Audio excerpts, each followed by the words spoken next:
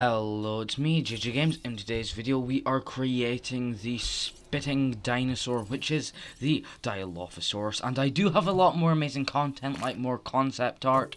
So subscribe to this YouTube channel if you want to see that.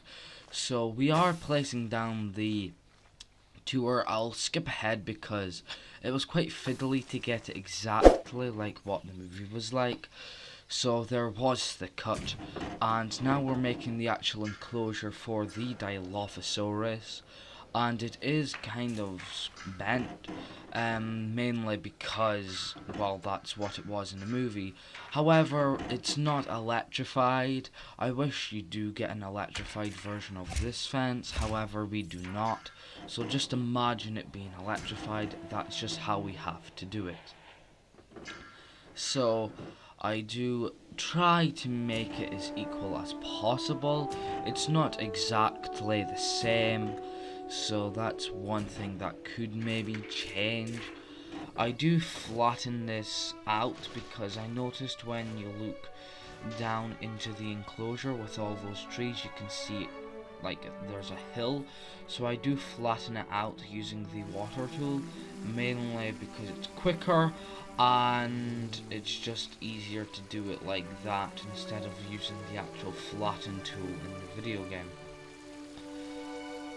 I don't really think Jurassic World Evolution 2 will be happening anymore because, well, Gamescom, they haven't announced anything and they have released a well, they are going to be releasing a Nintendo Switch version, and when you think about it, why would you have a sequel when something new has just came out for a different platform? Exactly. So I do flatten this um, out because, well, the hill um, I do flatten it out mainly just because the hill isn't really there in the movie, however it is for this recreation. I place down the Dilophosaurus marker for the enclosure and place that in. I have already transported the dinosaur, so this is what it looks like in the end. So if you have enjoyed today's YouTube video, remember to like, comment, and definitely subscribe to this YouTube channel because why not? And if you just want to see more content, subscribe. And thank you for getting 53 subscribers. That was me, JJ Games, and goodbye.